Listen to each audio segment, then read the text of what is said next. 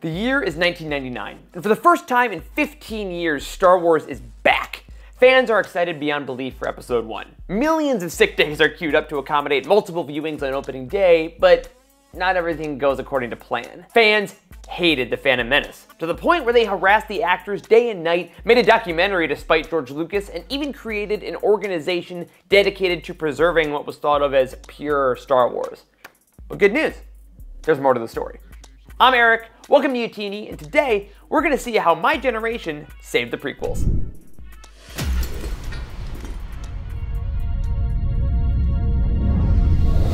This week, The Living Force by John Jackson Miller was released, and as I was writing our review for the site, it got me thinking about the prequels. With this year being the 25th anniversary of The Phantom Menace, we're seeing a huge resurgence in prequel media like books, comics, and even a re-release of The Phantom Menace coming in time for May the 4th. We get here? Because to be clear, the prequels are popular. I mean, all you need to do is look at Star Wars Celebration, where the anniversary panels are positively packed and the actors are welcomed like heroes the second they step on stage. It's absolutely beautiful. And I truly believe that the so-called prequel kids, a group of which I am happy to be a part of, flipped the script on the prequels in the larger fan community with three specific tactics. Wonder, universe expansion, and empathy.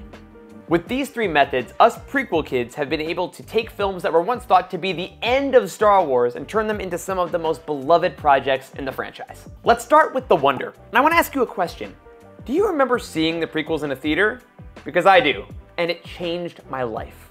I was seven years old when I sat in that theater to watch The Phantom Menace, and I don't know if I stopped smiling once. Because yes, I had grown up with Luke and Han and Leia and Vader, but, but this was different.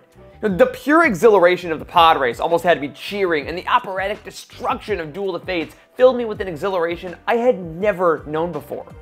And that was just the beginning. Because this sense of awe and wonder continued at full strength when I turned 10 and saw Attack of the Clones.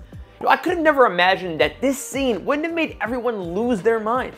Now this was Master Yoda, a character I knew, showing how powerful he was as he bolted across the screen. It was one of the biggest reveals of my early life. And when we walked out of that theater, that sense of wonder pervaded and demanded that we find other ways to experience this newfound obsession. And as always, Star Wars delivered on this front in spades. Of course, we're talking about toys. Now, our friends over on Legends Look Back recently did a show all about the best Phantom Menace toys that ever existed. And it's no wonder we were also obsessed when we had these pieces of plastic filling up our houses, because we weren't at home reminiscing about the frame composition or the dialogue construction. We were recreating the world. With our toys from KFC and Pizza Hut, with, with the playsets that never had enough pieces, and with our Jar Jar Binks beach towels. Yeah, I had that for many years many years. But of course, toys don't last forever. And as us prequel kids entered the digital age, we brought our favorite movies along with us in the form of, well, memes. Prequel memes dominated the internet for years. Almost every line of dialogue was used as a template for jokes and references, and as we grew into teens, we took moments that may have seemed cringy and created our own game that could be played as we were watching, and it had a rather unintended consequence. Because we had largely grown up without internet culture, our mental databanks of references weren't exactly full just yet, so these prequel memes stayed around for years, accidentally reinforcing our love for the movies long past our first viewings. After all, one of the best ways to define someone is by their sense of humor, right? And as prequel memes became almost sort of a shorthand for an entire generation, episodes 1, 2, and 3 became an integral part of who we were. And we also learn to open our minds and embrace things like silliness and camp right along epic action sequences. And by accepting the totality of what the prequels could offer us, the wonder of the films never had a chance to leave us. But it takes a little bit more than a sense of childlike wonder to change an entire franchise. And that's where the pivotal importance of universe expansion comes into play. And we embraced it in three major ways. Video games, books and comics, and TV shows. Now our generation may have been relatively new to the internet, but we absolutely knew our way around video games. And oh boy, did the prequels know how to treat us. With games like Star Wars Pod Racer, we were able to live in the worlds of the prequels day in and day out. And we learned the names of the racers, the names of the planets, and by feeling like we were actively exploring the galaxy, the universe began to feel like it belonged to us. Like, do you really think Plo Koon was my favorite Jedi because of his seat on the council? No! He was my favorite because his mask and lightsaber looked really cool in the Star Wars Obi-Wan dueling arena, which is where I met him and every single member of the Jedi Council while adults were complaining about why I shouldn't be having fun. Pretty sure I was having the better time. But of course, no game can be credited more for an entire generation's love of the prequels than the peak of it all.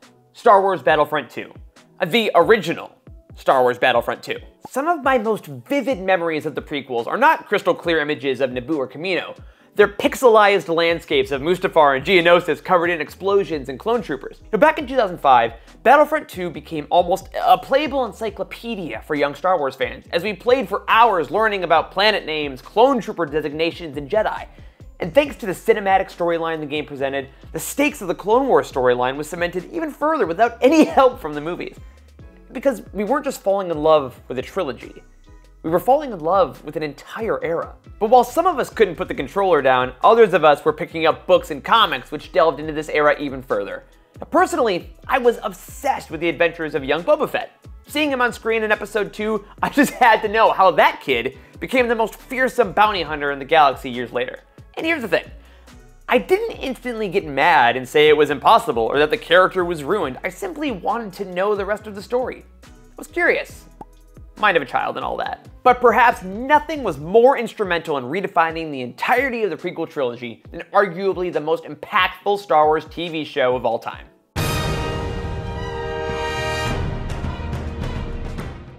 The Clone Wars is Star Wars, period.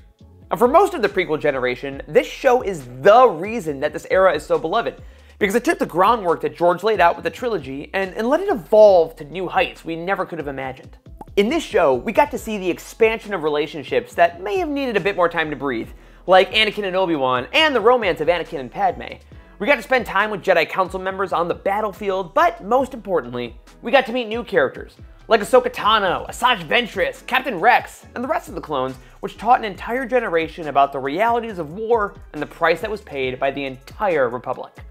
Now, it's very easy to say that the Clone Wars fixed the prequels by showing what George really meant to create in the first place, but we never viewed it that way. They work hand in hand to create a story that shaped us as kids and continue to do so to this very day. And finally, we get to the most complex part of our journey, but possibly the most important the empathy. As the last generation that grew up both on and offline, the prequel kids occupy an odd space. For a lot of us, we didn't even know that people didn't like the prequels during our childhood because it was easy to ignore. We definitely didn't know how bad it got for the people involved until we couldn't look away. The hate that was leveled at the creators of the prequels was absolutely horrific. Jake Lloyd, a child, was bullied mercilessly. Hayden Christensen effectively left Hollywood for a decade, and Ahmed Best later admitted that he almost took his own life after the relentless harassment he got for playing Jar Jar. These attacks were submitted under the newly found blanket of online anonymity in the early 2000s, and once us prequel kids saw what was happening to our actual heroes, it really started to affect us. I remember the anger growing so strong that I began to question if I was wrong. I mean, if so many people who I'm supposed to trust have opinions like this, should I just give up my love for the prequels altogether? Like, Star Wars was beginning to be seen as this fan base filled with toxicity and hatred, and so many of us were worried about being a part of that. So, we decided to change the narrative. Because we realized something very important. These were all people. They had lives and they were doing a job that was supposed to make us happy. And it did make us happy. And no opinion or critique was worth the destruction of an actual person's self worth or literal health. So we embraced them fully, and the results were beautiful. Every time prequel creators came up in public, we were there to cheer them on. We weren't just there for Anakin and Obi Wan, we were there for Hayden and Ewan. We didn't just want to say hi to Jar Jar, we wanted to tell Ahmed Best we loved him. And this outpouring of love and acceptance from adults whose childhoods were formed by these people filled this community that had endured so many years of darkness with an unbelievable amount of light and life. Because that's what the prequels are to our generation. They are joy and love and fun and acceptance. They're who we are at our best and who we aspire to when we're at our worst. The prequels have been through the wringer over the last 25 years, and so has the Star Wars fandom as a whole. We've had the highest of highs and the lowest of lows. But thanks to an entire generation's dedication to love and wonder, the prequels are back on the pedestal where they belong.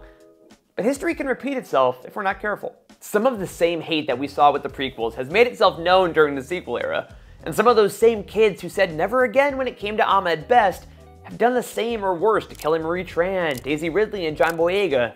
So we have to be better. And that's my challenge for all of us.